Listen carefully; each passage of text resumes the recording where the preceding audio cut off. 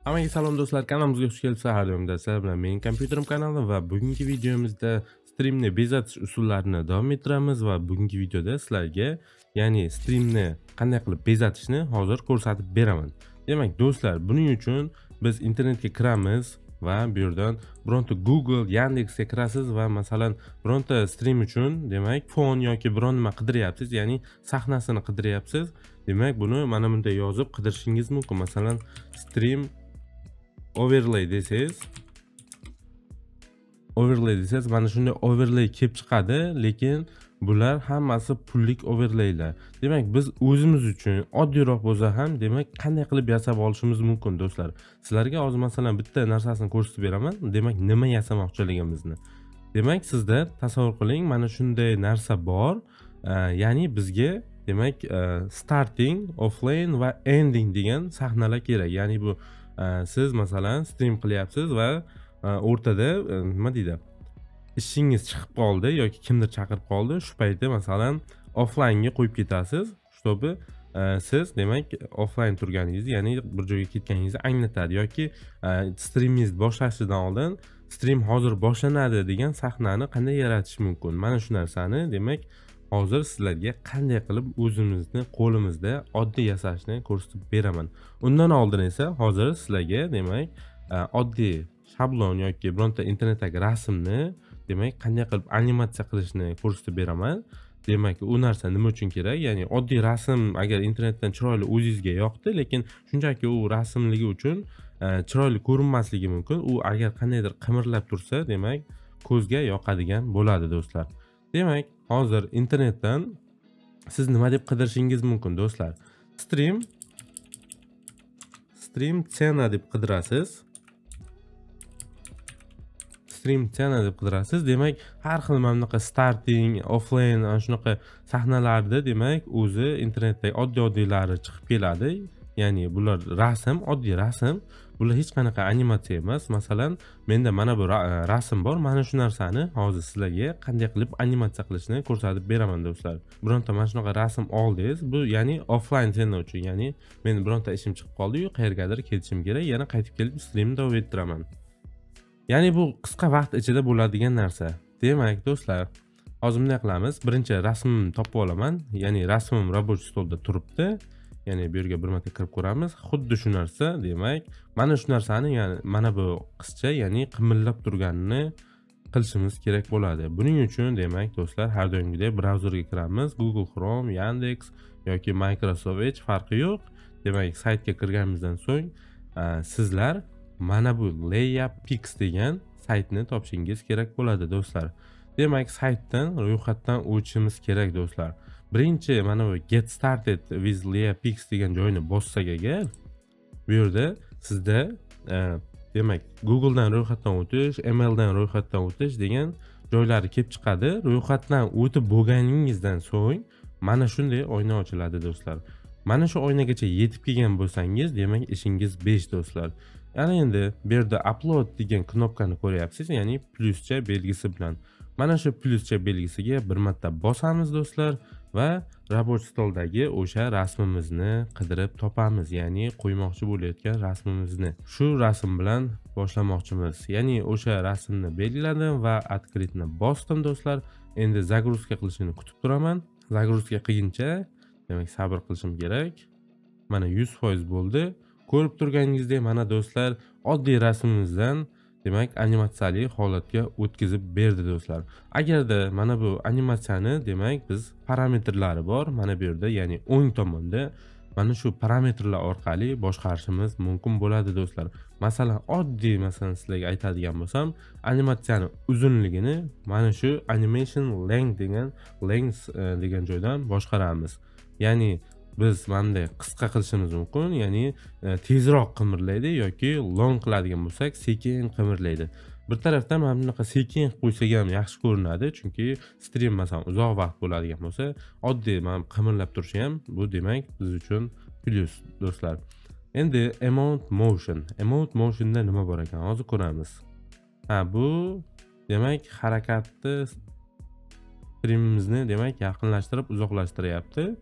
Bizga sal uzoqroq bo'lsa ham agar los qiladigan bo'lsak harakati kamaygandek ko'rinar ekan demak sal oshirib qo'yamiz yetadi.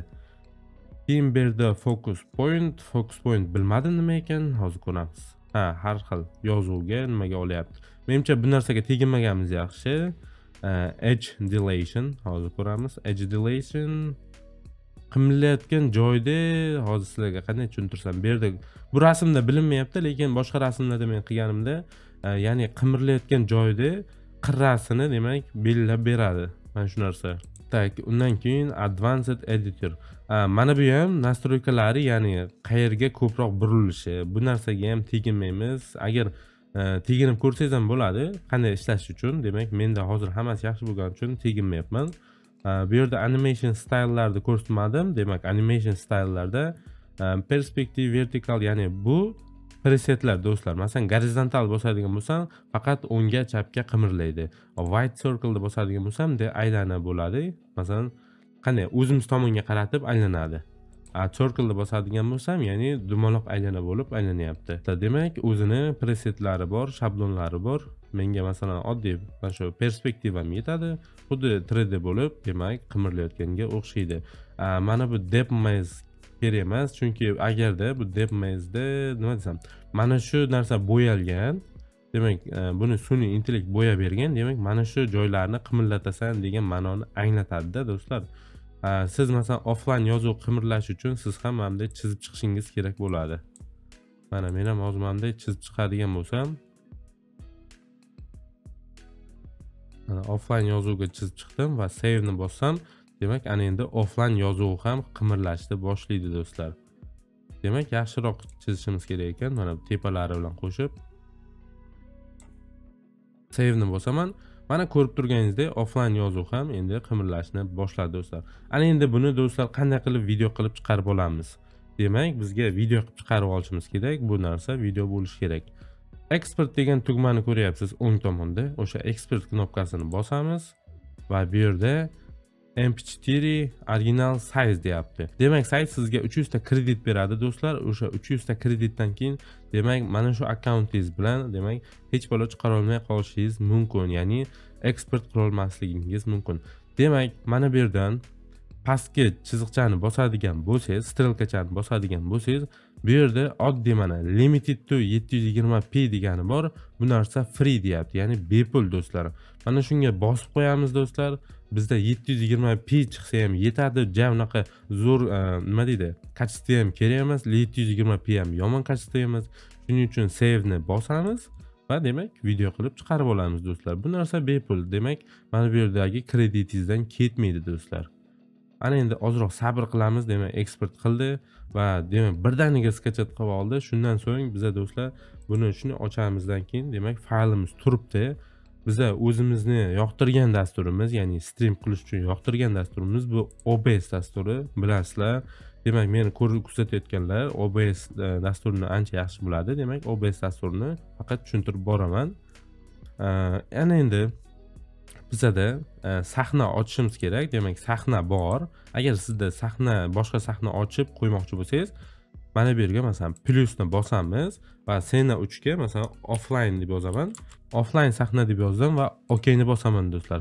Mana shu offline sahnaga biza o'sha yasagan videomizni tashlashimiz kerak bo'ladi do'stlar. Demak videoni tashladik ko'rganingizdek ana endi bu yerda nastroykasi bor. Ya'ni mishkani o'ng tomonini bosamiz va svoystvani bir marta bosamiz. Shundan so'ng повторni bosib qo'yamiz do'stlar. Bu nima uchun kerak desangiz ya'ni mana bu yasagan videomiz ya'ni qanchadir sekundlik video. Mana shu narsa to'xtovsiz бесконечный bo'lishi uchun ya'ni бесконечный qo'yilib turishi uchun mana shu narsa belgilanadi do'stlar. Ana endi bu narsani kattaroq qilishimiz kerak ya'ni E, to'liq ekran qilishimiz kerak. Buning uchun yana o'sha mana bu rasmga bosamiz ekran ustidagi. Shundan so'ng mishkani o'ng tomonini bosamiz va bu yerdan transformni topishimiz kerak bo'ladi. Ya'ni preobrazovat. Demak t knopkasi bilan belgilangan va shundan so'ng bu bo'limdagi mana bu растянут на вес ekran. Ctrl C ekan. Demak tezkor klavishasi shuni bosishimiz kerak bo'ladi. Demak buni bosganimizdan so'ng ko'rib turganingizdek mana to'liq ekranli qimirlaydigan animatsiyali e, strimimizni bir e, elementlari paydo bo'ldi desak bo'ladi. Mana shunday qilib demak boshqa e, sahnaga masalan sizda ikkita uchta sahna bo'ladigan bo'lsa переключаться qilsak mana animatsiyalar bilan o'tadigan bo'ladi do'stlar. Animatsiyalarni bu yerdan sozlanadi. Demak hozir bu narsani gaplashmayapmiz. Bu narsa haqida отдельный videolar bo'ladi animatsiyalar haqida. Demak biz hozir sahnani bezatish to'g'risida gaplashyapmiz do'stlar. Demak o'zimiz qanday qilib mana shunaqa offlayn ssenarni chiroyli qilib yaratishimiz mumkin desangiz do'stlar men sizlarga hozir bittasini ko'rsatib beraman. Ya'ni photoshop dasturida oddiy rasm yasaymiz va uni animatsiya holatiga keltiramiz. Demak do'stlar videomiz uzoq bo'ladi lekin foydali ma'lumotlar albatta ko'p bo'ladi. Shuning uchun yaqinroq o'tirib olib videoga layk bosishni unutmang. Demak hozir biza birinchi o'chirda photoshopga kiramiz. Demak sizda qanaqa photoshop bo'lishidan qat'iy nazar eskisi bo'ladimi yangisi bo'ladimi? Чтобы qanaqasi bo'lishidan qat'iy nazar? Photoshopga kiramiz do'stlar va bu yerdan control n tugmasini bosamiz. Agar yoki control nni bilmasangiz qanday bosishni shunchaki mana bu yerdan new file yoki mana bu yerdan fayl bo'limidan newni bossangiz ham yetadi. Mana control n. Farqi yo'q do'stlar. New fileni bosamiz va bu yerdan santimetrdan birinchi e'tibor beradigan narsa santimetrdan bu yerga biza pikselga o'tkazib olishimiz kerak do'stlar. Pikselga o'tkazib olamiz va bu yerdan razmer beramiz. Razmerni eslab qolingizlar. bir ming to'qqiz yuz yigirmaga bir ming sakson. bir ming sakson bo'ladi ya'ni bir ming to'qqiz yuz yigirmaga bir ming sakson bu degani full hd e, formatdagi razmer bo'ladi va mana bu yerdan piksel santimetrni piksel inch degan e, narsaga qo'yib qo'yamiz va bu yerdan 300 emas do'stlar 72 beramiz. 72 berganimizdan so'ng shunchaki bu yerdan create'ni bosishimiz kerak. Sizda balki rus tilida bo'lishi mumkin demak uncha farq qilmaydi. E, create'ni bosamiz. Shundan so'ng do'stlar o'sha sahnani qanday qilib endi o'zimiz qo'lda yasaymiz. Buning uchun menga hozir e, oddiy pubgda bitta ko'rsatib beraman. Pubgdagi offlayn sahnasini yasashni demak pubgda e, nimani ko'p ko'ramiz? Ya'ni mana bu kaskani ko'p ko'ramiz. Internetda men mana shu kaskani qidirib topdim chiroyli bo'lgani uchun. Demak internetda pubgni har xil narsalari bor ekan. E, Png formatda topdim ya'ni hech qanaqa fon yo'q orqasida. Demak mana shu narsani hozir men photoshopga tashlayman. Demak photoshopga shuni olamizu. Dokumentga irg'itib yuboramiz rasmni tashladim. Buni maydaroq qilaman. Maydaroq qilishim ham qanday do'stlar? Shift va alt tugmasini bosib mayda qilyapman. Eskiroq photoshoplarda shunday. Agar e, ikki ming yigirma bir yoki yigirma adashmasam shunchaki mana bu knopkani o'zini e, nima qilsangiz mayda qiladi. Lekin ba'zi photoshoplarda shunaqaki mana bu meshkani o'zi bilan mayda qiladigan bo'lsam mana bunaqa qiyshiq meshiq qilib demak Э, mayda qiladi. Shuning uchun bu yerda men shift alt tugmasi bilan bosib mayda qilyapman. Demak o'rtaga qo'yaman. O'rtaga qo'yganimdan so'ng bu yerdan do'stlar mana bu backgroundni biza e, shunchaki ko'zchani bosib o'chirib qo'yamiz va bu yerdan e, yangi fayl hosil qilamiz. Ya'ni mana bu yerdan e, ko'rib turganingizdek yarmi qora yarmi oq значок mana shunga bosib solid color deganini bosamiz va bu yerdan qora rangni belgilaymiz do'stlar. Okni bosamiz va bu bizning fonimiz bo'ladi do'stlar. Buni ya'ni layers bo'limidan eng pastiga tushirib qo'yamiz. Eng pastga tushirganimdan so'ng demak mana shunday ko'rinish hosil bo'ladi. Shundan so'ng bu yerga offline deb yozib qo'yishim kerak yoki pauza deb yozib qo'ysak ham bo'ladi farqi yo'q. Yoki masalan stream hozir boshlanadi yoki e, biroz kuting degan yozuvlar qo'yishimiz mumkin. Siz qanaqa yozuv qo'yishni o'zingiz belgilaysiz? Shunchaki e, masalan men ingliz tilida aytyapman offline ssenasi demak tekst bo'limidan demak mavzuga qaytamiz. Tekst bo'limidan t deb mana ko'rib turibsiz o'zi tekst yozadigan. Shunga bir marta bosamiz va mana bu dokumentimizga bir marta bosamiz. Undan so'ng mana o'zi qanaqadir yozuv chiqarib berdi. Buni o'chiraveramiz o'chiramiz va masalan offline deb yozaman. Offline. Offline deb yozdim. Keyin bu tekstni katta qilish mana bu yerdan katta qilsak ham bo'ladi. Masalan bu yerda e, yetmish besh e, demak kattalikda turibdi. Yoki mana bu yerdan properties degan oyna bilan katta qilsak ham bo'ladi. Agarda mana bu properties oynasi bo'lmasa mana bu yerdan window va bu yerdan mana propertiesga bir marta bosib qo'ysangiz mana bu yerga chiqib qoladi do'stlar. Shundan so'ng do'stlar buni kattaroq qilamiz. Masalan 300 ga qilaylik qani? uch yuz demak judayam katta do'stlar. Buni qo'lda o'zimiz ham mayda qilsak bo'ladi. Ctrl T tugmasini bosamiz. Demak mana shu layerda turgan bo'lishingiz kerak va mana bu Э, yoni ko'k bo'lishi kerak. Agar ko'k bo'lmagan bo'lsa mana bu yerdan shof transformni bosib qo'ysangiz ko'k bo'lib ko'rinib turadi. Ya'ni xuddi shu qatlamni belgilab olganingizni bildiradi do'stlar. Ctrl T ni bosdik. Demak Ctrl T ni bosganimizdan so'ng boya aytganimdek rasmni mayda qilganimizda buni ham biroz maydaroq qilamiz. Masalan mana shuncha. Va buni o'rtaga tashlayman. O'rtaga tashladim do'stlar. Va tekstni pastga qaratib qo'yaman ya'ni kaskadan pastiga qo'yaman do'stlar. Demak kastka ustida turadi. Va bu tekstni e'tibor bergan bo'lsangiz siz yozganingiz bu shriftda chiqmasligi mumkin. Demak shriftni nomi rugen expanded deb nomlanar ekan sizda balki mana bunaqa oddiy shriftlar bo'lishi mumkin. Internetdan siz e, rugen expanded degan shriftni olib yuklab olishingiz mumkin do'stlar. Keyin offline degan sahnani biroz qandaydir chiroyliroq ko'rinish uchun qiyshaytiraman. Qanday qilib qiyshaytirish mumkin? Kontrol t tugmasini bosib do'stlar shunchaki mana bu o'rtadagi nuqtaga o'rtadagi nuqtaga kontrolni bossam mana ko'rganingizdek mishka o'zgaryapti. Mishka o'zgargandan keyin kontrolni bosib demak mishkani chap tugmasi bilan ozroq tepaga mana bunday qilib ko'taraman. Mana shunday. Va o'rtaga yana qo'yib qo'yaman. Ko'rganingizdek птичкani bitta bosamiz ya'ni galchkani bosdim va sahnamiz deyarli deyarli o'ziga kelib qoldi do'stlar. Yoki tekstni biroz ko'rinishi uchun ozroq katta qilishimiz ham mumkin. Farqi yo'q do'stlar. Ana endi masalan offline deyapmiz. Endi bu yerga mana bu yerga kichkina qilib o'zingizni kanalingizni nomini yozib qo'ysangiz bo'ladi. Masalan yana bir marta t degan mana bu tekst degan knopkaga bosamiz. Va bu yerdan o'zimizni tekstimizni yaratamiz. Masalan e, pubg mobile deb yozib qo'yaman. Shunchaki pubg mobile. Bu yerga siz kanalingizni nomini yozishingiz mumkin do'stlar. Bu tekstni ham mayda qilamiz. Ancha mayda qilishimiz kerakku o'xshaydi. Demak deyarli mana shuncha bo'ladi. Va buni ham do'stlar kontrolni bosgan holda mishka bilan mana bunday qiyshaytirib qo'yamiz do'stlar. Demak mana shu tekstga mos tarzda qiyshayib chiroyli ko'rinib turishi kerak do'stlar. Mana pubg mobile. Endi do'stlar bu narsani biroz fon berishimiz kerak. Qanaqadir rasm qo'ysak ham bo'ladi orqasiga lekin shu fonni ham do'stlar o'zimiz yaratib yuboramiz hozir. Buning uchun e, mishkangizni o'ng tomondagi pastki burchakka olib borasiz va mana bu plyusni bosishingiz kerak bo'ladi. Ya'ni yangi layer ya'ni yangi sloy hosil qiladi. Shunga bir marta bosamiz do'stlar.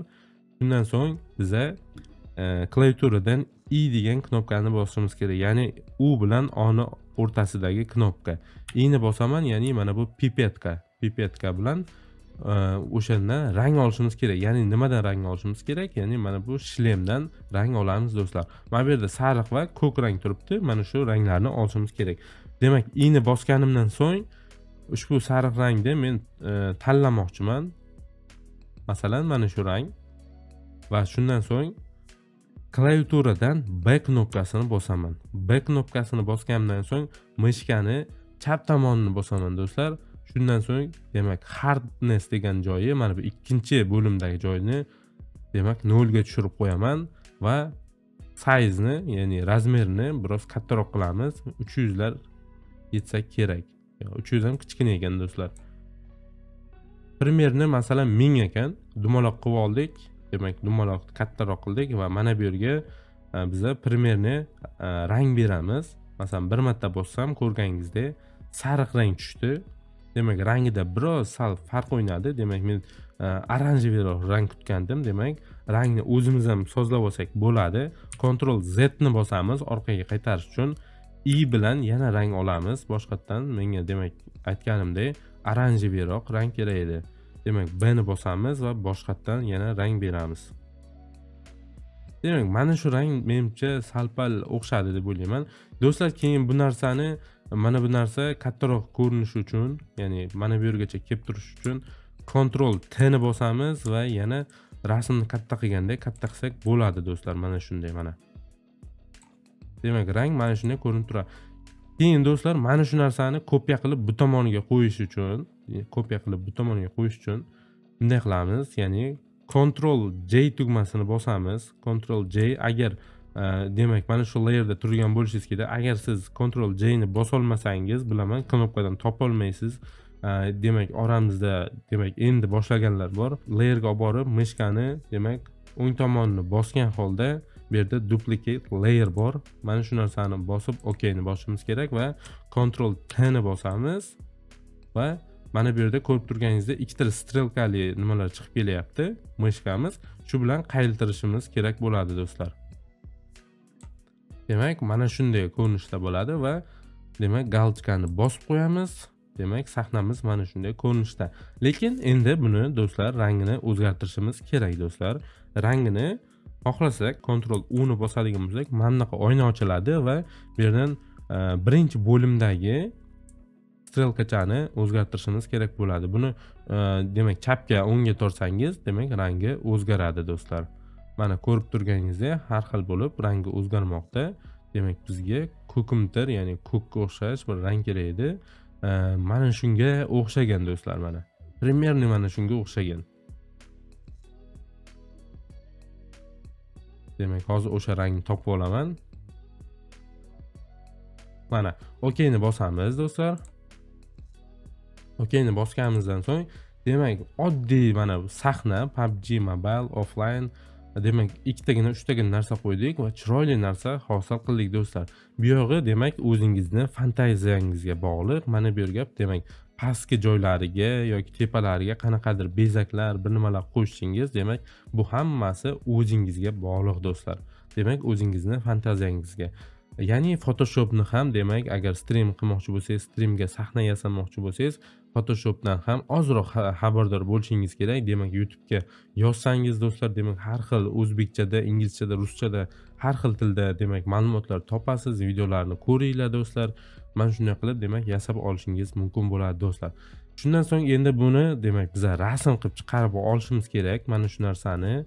Endi buning uchun fayl bo'limiga o'tamiz va bu yerdan export exportga o'tamiz va save for web deb yozamiz. Demak save for web qilamiz va shundan so'ng mana bu yerda jpeg turadi. Jpegga qo'yishimiz kerak bo'ladi. Jpegga qo'yganimizdan so'ng do'stlar mana bu yerda save knopkasini ko'ryapsizlar.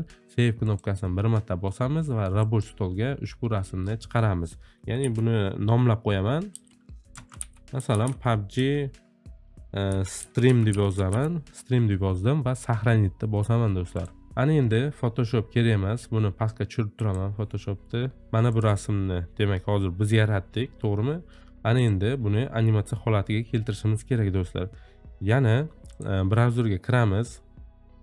Brauzerga kirganimizdan so'ng mana bu yerda demak boya ko'rsatgandek boshidan e, uploadni bosishimiz mumkin hozirgi turgan joyimizdan yoki o'sha lay e, pix degan saytga kirib kirib bu yerdan get startedni bosib kirib ketishimiz mumkin. Do'stlar yana shu oynaga qaytamiz. Demak uploadni bosamiz. Uploadni bosganimizdan so'ng biz o'sha yasagan rasmimizni tanlaymiz. Men hozir sizlar bilan yasagan rasmim mana shu va открытni bosaman do'stlar. Demak загрузка qilishini biroz kutib turaman.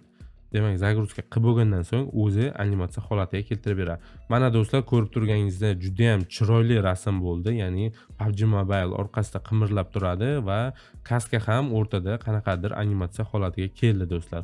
Endi buni ko'rib chiqamiz. Mana bu yerda ko'rib turganingizdek biroz qandaydir Э, muammosi bor. Qandaydir? Surib ketyapti yozuvni. Mana shu narsani ozroq to'g'irlashimiz kerak do'stlar.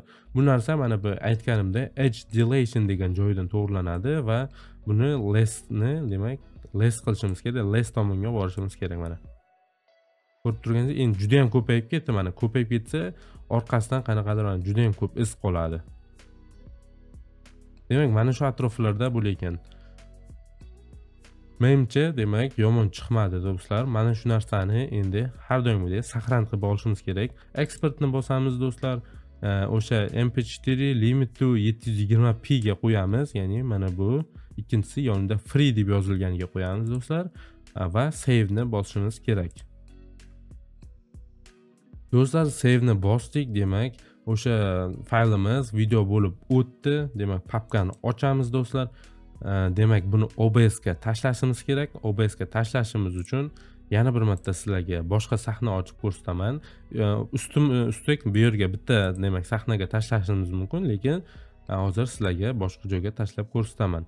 E, masalan ikkinchi sahnamga tashlab qo'yaman. Faylni olamiz. Mana faylni olyapman. Mishkani bosgan holda chap tomonni bosgan holda qo'yavermasdan mana bu istochnikka shunchaki tashlab qo'yaman. Demak ko'rganingizdek video pastga tushdi. Yana eslatib o'taman mishkani chap tomonni ikki marta bosamiz va повторni bosib qo'yamiz okni bosamiz va bu yerda mishkani o'ng tomonni bosishimiz kerak faylga va t undan keyin mana bu yerda rastyanut на весь ekran s deb e, knopkasi bilan belgilangan va bunga bosishim kerak bo'ladi. Ko'rib turganingizdek ajoyib sahna bo'ldi do'stlar. Shunga mos masalan demak photoshopda boshqa qismlarni ham yasasa bo'ladi do'stlar. Masalan stream hozir boshlanadi stream hozir tugaydi yoki stream tugadi yoki stream hozir e, demak davom etadi degan narsalarni demak qilishimiz mumkin bo'ladi do'stlar. Video judayam foydali bo'ldi degan umiddaman. Demak video cho'zilib ketganini bilaman do'stlar. Ancha narsa aytdim chunki E, ko'p ma'lumotlar berdim do'stlar. Demak agarda shu narsalar sizga qiziq bo'ladigan bo'lsa stream mavzusi qiziq bo'ladigan bo'lsa ya'ni masalan nimalarni o'rgatishimni kommentariyada yozib qoldirsangiz albatta bu haqida ham video tayyorlashga harakat qilaman do'stlar. Video yoqqan bo'lsa videoga layk bosing va kanalimizga obuna bo'lishni unutmang do'stlar. Sizlar bilan mening kompyuterim kanal bo'ldi. Ko'rishguncha xayr.